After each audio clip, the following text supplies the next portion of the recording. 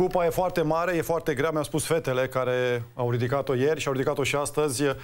Sunt lângă mine fetele de aur, două dintre ele. Bine ați venit, bine ați venit domnule Vasiliu, bine a venit Cristina, bine a venit Iulia. Mai puteți? Cum sunteți? Un tur de forță astăzi, ați fost peste tot, o să mai mergeți. Cum e? Suntem fericite, normal, nici nu se pune problema. Obosite, bineînțeles, dar uh, trecem peste toată oboseala pentru această mare bucurie și vom fi prezenți oriunde și oricând. Cristina, se poate ridica această cupă? Mie se pare că e foarte... N-am ridicat-o, e foarte mare. Cum? Grea, e urâtă, nu poți să bei din ea, nu poți dansezi în ea, nu poți De aia noastră și o da. iubim și o ținem până la anul și sperăm să o ținem și la anul. Ne bucurăm de ea enorm, este o realizare senzațională pentru clubul acesta nou, înființat. Uh, Vocea ta începe să o ia pe urmele Oanei. Vocea mea? Da, Avem mai multe fete în echipă fete? care și-au pierdut. Da. Avem mai multe, îmi pare rău, asta e vocea cu asta de finez. Domnule Vasiliu, cupa asta rămâne la noi câțiva ani, încercăm?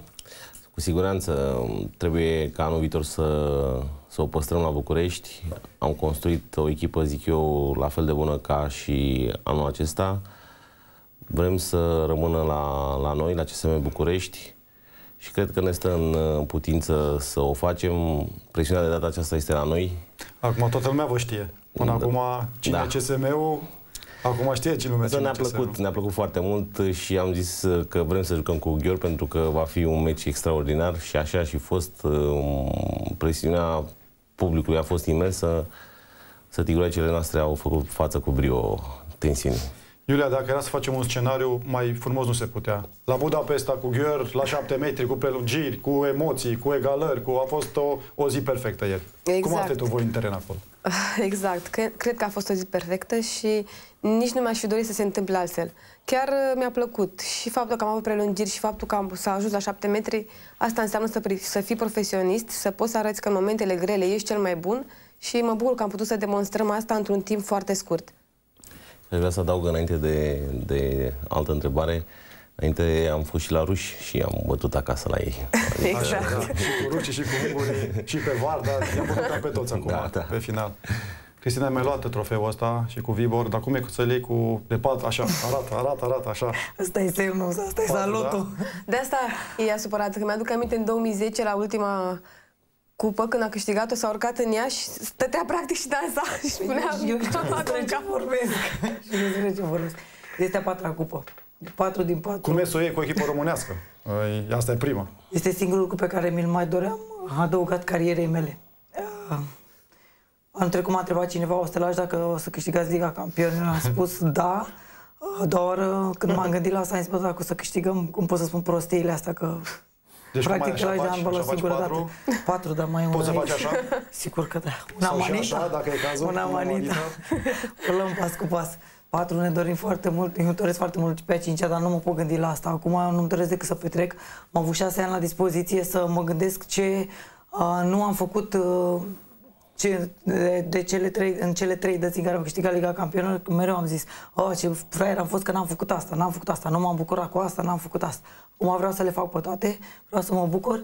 Toată lumea spune că ne gândim deja la viitor, eu nu mă gândesc la niciun viitor, mă gândesc la prezent. Eu vreau să petrec și dacă pot să petrec până la, cu o jumătate de oră înainte de a începe meciul cu Rapidul, asta o să fac. Am înțeles. Apropo, cum uh, o să petreceți pe toată această cupă? Mai și cupa? Urmează, mai aveți niște meciuri în acest campionat? Ați pregătit ceva, nu știu, se pregă, pregătiți ceva frumos? Păi, aseară a fost... Uh, a început de aseară, da, așa. început de aseară și am, a fost foarte, foarte bine. Am petrecut uh, de ajuns, zic eu, poate și vocea fetelor e o dovadă vie. Um, acum, uh, cred că în ceea ce privește Cupa României nu o să fie mari probleme, o să luăm și acest trofeu. Ne pregătim... Erați foarte optimiști și la aeroport cu cupa. Da, da. Faceți tripla anul ăsta? Da, sigur, sigur. O să facem. Nu, nu cred că mai poate să, să ne stea cineva în, în cale. Însă, acum e, e un moment istoric, e un moment extraordinar pentru noi, pentru CSM, pentru București, pentru România. Încă nu am realizat, cred. Cred că nu știm ce trăim încă. Asta, Suntem... asta vreau să vă întreb. Voi realizați, Iulia, tu realizezi ce ai făcut? Ieri? Uh, Sau încă plutiți așa? Încă e o... Pentru că știu mulți campioni care au spus, mai, abia peste ani mi-am dat seama totuși ce am realizat. Atunci mm. eram așa... Încă plutim, dar realizăm. Pentru realizăm. că, da, exact. Este un lucru enorm. Este un lucru realizat într-un timp foarte scurt. Dacă dăm timpul înapoi și ne gândim la începutul sezonului, nu a fost un sezon uh, început extraordinar, au fost câteva probleme, au fost câteva schimbări în care multă lume ne-a judecat, stai că nu o să ajungă, nu ne dau practic foarte multe șanse și dacă e să fim realiști, am scris istorie și nu cred, nu știu dacă există vreo echipă să fi jucat în prima an în Champions League și să ajungă să câștige trofeu. Da, asta e performanță uriașă. Voi ați mers la Budapesta, teoretic, erați cu șansa a patra acolo în Final Four. Eu cred că asta a fost lucrul cel mai important, faptul că nu ne-a dat nimeni nicio șansă, n-a pus absolut nimeni nicio presiune pe noi, pentru că ne îndepliniserăm obiectivul. Și vă spun sincer că am vorbit și cu fete de la Vardar și cu fete de la Bodugnos, știm câte antrenamente au făcut ele în ultima perioadă, știm câte ședințe tactice, nu că noi nu am fi făcut, am făcut, dar în comparație cu ele nu există o comparație.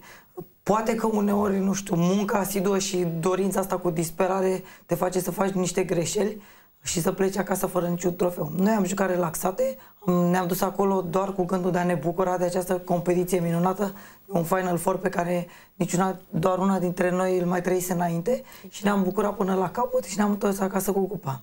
Cum a fost uh, finalul, finalul ăsta de meci? Cu două prelungiri, am egalat de două ori, ați fost condusă de două ori, ați crezut în fiecare moment, nu știu, cum, cum era acolo pe teren? Și la șapte metri vreau să vă întreb, că le-ați privit, au, dar emoțiile cred că sunt uriașe acolo, nu? Sau nu erau? Nu mai gândea nimeni nimic?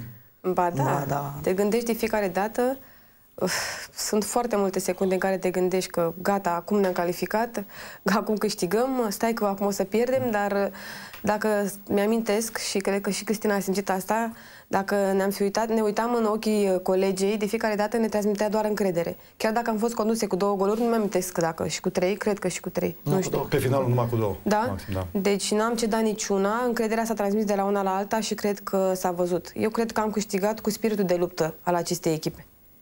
Erau foarte mulți unguri în sală, erau și românii, auzeați? Îi auzeam noi pe români. Exact, cred că au fost vreo 8.000 de maghiari da, și, și vreo câteva, de români, da, exact, câteva mie. sute. Dar, sincer, nu da, am auzit ungurii. Nu a fost nicio diferență. Exact. Nu, nicio diferență sau nu știu, nu s-au auzit ei mai mult decât noi. Noi am auzit pe ai noștri. Au fost la fiecare... Au fost momente în care Unguria au amuțit, efectiv au amuțit. Exact. Probabil că ei se aștepta să fie un, nu știu, o plimbare în parc meciul ăsta Pentru ei, da. cu noi. Așa cred că s-au bucurat când au, cred, când au văzut că o să joace finala cu Toată lumea s-a bucurat. Rostov s-a bucurat că a picat pe noi. cu noi. Vardar s-a bucurat că a picat cu noi. de bătaie, da. Nu, Martin Ambros, după meciul cu Vardar, m-am întâlnit seara cu el în hotel și nu prea mai era chiar foarte bucuros. Cam perise zâmbetul inițial așa, l-am și întrebat probleme, ceva? Nu, nu, e regulă, ne vedem mâine.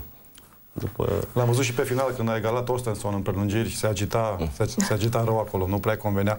Bun, viitorul? Viitorul sună bine. Sună?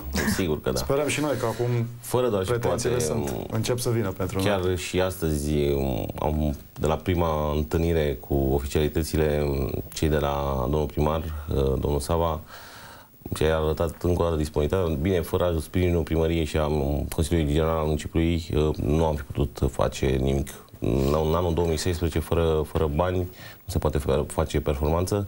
Noi am avut cel mai mic buget din cele patru echipe participante, dar iată că uneori uh, sufletul și dorința de a lupta și a câștiga compensează anumite lipsuri uh, materiale. Lipsuri materiale nu mă refer pentru că cred că fetele au avut tot, totul la dispoziție Uh, suntem organizați de Champions League, uh, am câștigat Champions League, uh, am putea să și facem un Final Four în România, numai o sală ne-ar trebui.